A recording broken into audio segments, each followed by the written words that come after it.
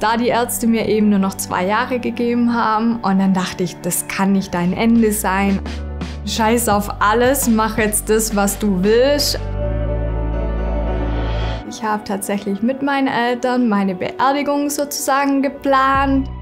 Und der Kleine, ähm, ja, er sagt immer wieder, ähm, hey Jackie, kannst nicht einfach sterben und wieder auf die Welt kommen, dass du einfach wieder gesund bist.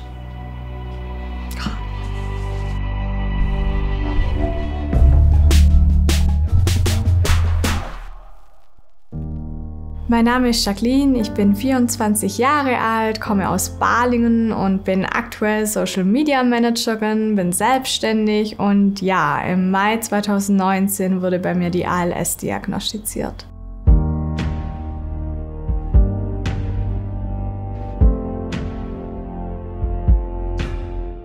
Also mein Alltag ist immer ein bisschen unterschiedlich, je nachdem wie die Nacht war, denn durch ähm, meine Krankheit habe ich ziemlich schlaflose Nächte. Ich schlafe ähm, keine Stunde mehr am Stück. Im Alltag hilft mir meine Oma und meine Mama aktuell. Ich brauche im Alltag schon Hilfe, gerade wenn es ans Flaschenöffnen geht ähm, oder auch beim Kochen, Nudelwasser zum Beispiel, ähm, kann ich nicht selber auf den Herd stellen. Ich habe zum Beispiel Probleme beim Haarewaschen, aber selbst das versuche ich noch alleine zu machen. An schlechten Tagen muss man sie mir zum Beispiel waschen. Ich zeige euch ähm, meine größte Leidenschaft, das Backen. Und dann gehen wir anschließend zur Physio, wo ich ähm, dreimal die Woche aktiv bin und mich da mein toller Physiotherapeut begleitet. Und dann werdet ihr noch meine Mom und meinen Hund kennenlernen. Meine Kindheit war sehr schön. Ich bin mit meinem großen Bruder aufgewachsen, bis dann vier weitere Geschwister dazu kamen, so die Nachzügler. Wir kommen alle gut zurecht. Meine Rolle bei meinen Geschwistern ist eher so die große ähm, Schwester, die immer mal wieder aufpasst, mit der man viel Spaß haben kann.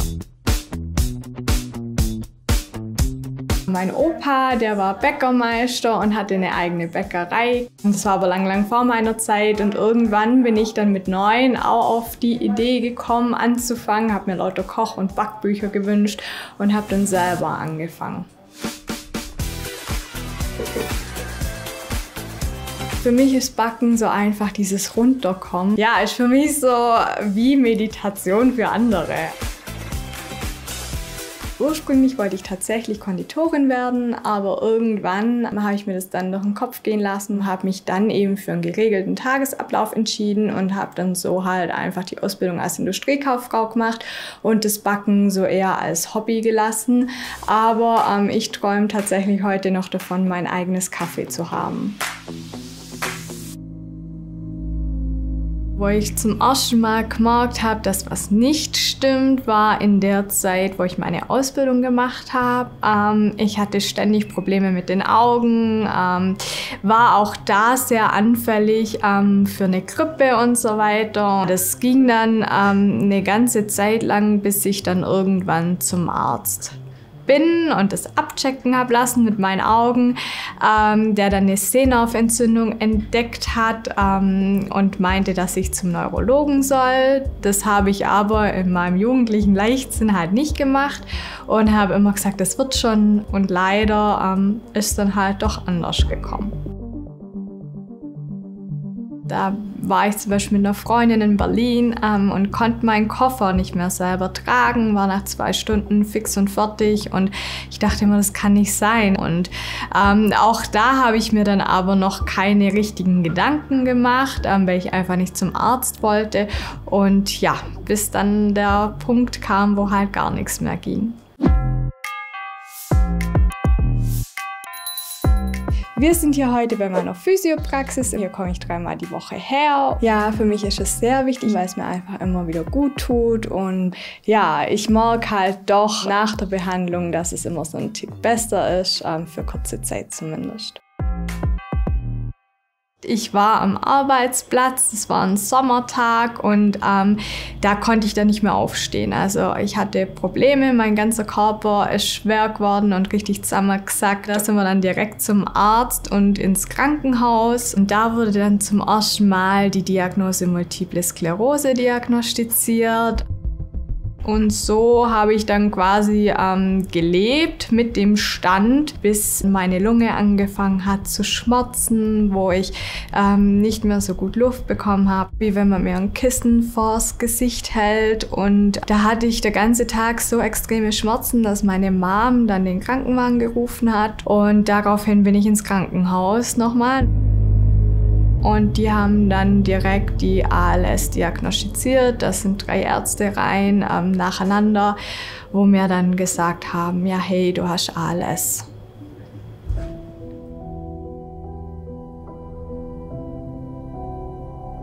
Der Moment, als ich meine Diagnose bekam, war so ungreifbar und so unrealistisch, dass ich es tatsächlich nicht ernst genommen habe, nicht wahrgenommen habe.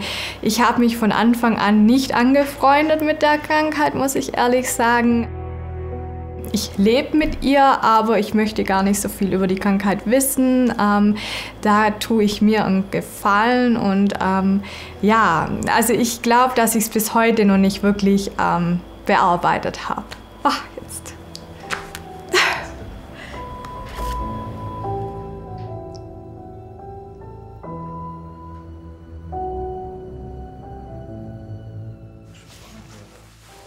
Jackie, wie geht's dir heute?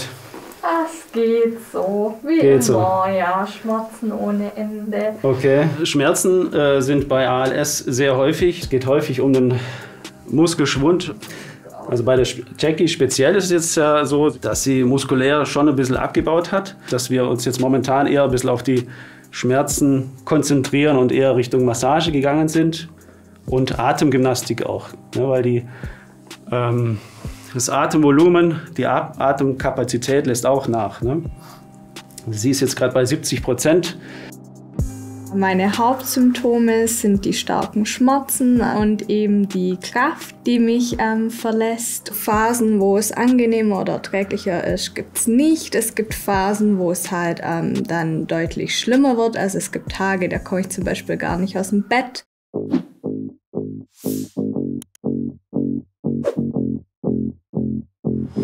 Also bei ALS ist es ja so, dass äh, teilweise die Schwerkraft schon zu viel ist für den Körper. Ne?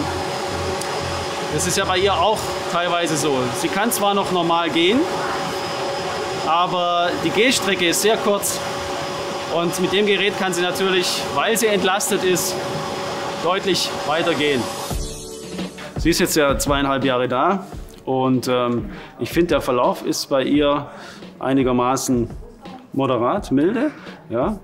Äh, wobei sie natürlich sehr äh, starke äh, Schmerzen hat. Ähm, und ähm, die letzten Monate schon ein bisschen abgebaut hat. Aber sie macht es wirklich tapfer, sie lässt sich nicht unterkriegen und ist einfach äh, motiviert, da dran zu bleiben. Ja? Sie kämpft für sich und äh, das finde ich ganz toll. Ganz wichtiger Faktor ist natürlich die, die psychologische Unterstützung. Ne? Das Thema allein ist ja schon äh, ein trauriges Thema, sage ich mal. Ja? Ähm, und da reden wir viel. Sie fragt auch manchmal, hast du schon andere ALS-Patienten gehabt? Da kann ich ein bisschen ihr was erzählen. Das tut ja schon gut, der Austausch. Ja? Also der Zeitpunkt nach der Diagnose ähm, war kurz schwierig. Ich habe auch direkt das Krankenhaus abgebrochen. Bin sonntags ähm, nach Mallorca geflogen, habe mir so kurz mal einen Flug gebucht und brauchte zwei Tage Abstand, um alles sacken zu lassen. Da die Ärzte mir eben nur noch zwei Jahre gegeben haben und dann dachte ich, das kann nicht dein Ende sein. Ähm, du musst jetzt einfach nach vorne gucken. Scheiß auf alles, mach jetzt das, was du willst. Ein Wunsch habe ich mir direkt erfüllt, ähm, nachdem ich zurück vom Urlaub gekommen bin. Und zwar habe ich mir ein Akita geholt und ja, bin da bis heute noch richtig glücklich, weil ich nicht in ein Loch fallen kann, sondern ich muss jeden Tag raus. Die Reaktion in Bezug auf meine Krankheit ähm, innerhalb der Familie war sehr unterschiedlich. Meine Mom, die hat sehr getroffen. Das gleiche ist auch bei meinem Papa so. Der lässt es sich gar nicht anmerken. Meine zwei größeren, kleineren Geschwister, ähm, die sind sehr hilfsbereit und unterstützen mich, wo es geht. Und ja, die ganz Kleinen, die wissen nicht wirklich genau, um was es sich handelt. Ähm, das wäre auch einfach noch zu früh. Und der Kleine, ähm, ja, er sagt immer wieder, ähm, hey Jackie, kannst nicht einfach sterben und wieder auf die Welt kommen, dass du einfach wieder gesund bist.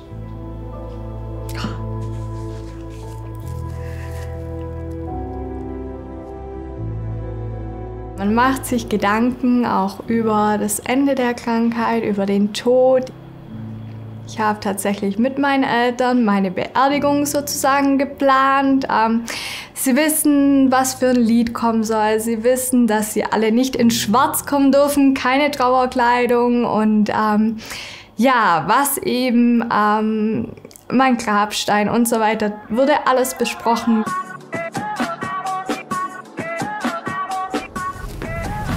Also, wir sind jetzt auf dem Weg zu meiner neuen Wohnung und da treffen wir gleich auf meine Mama. Und ja, meine Mama sieht jetzt die Wohnung zum ersten Mal und für mich ist es eine richtige Premiere. Ähm, ich freue mich unendlich. Ähm, ja, und bin gespannt.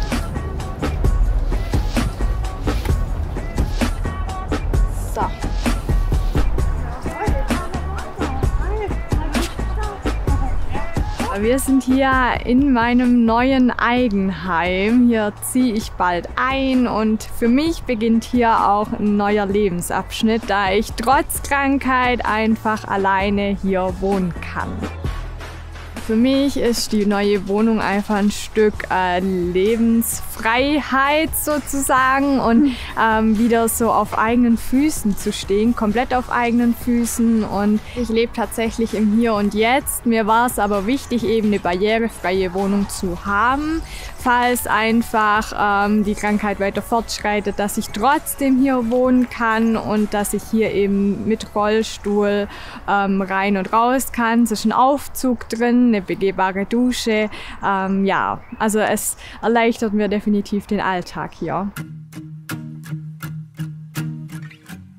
Freundestechnisch ähm, habe ich einige Freunde verloren durch die Krankheit, ähm, was ich sehr, sehr schade finde. Ich habe es versucht zu verstehen. Ähm, ich meine, man ist schon so ein bisschen eine Last für alle und ich selber mag es ja auch, dass ich einfach ähm, nicht mehr so fit bin wie früher und nicht mehr mithalten kann.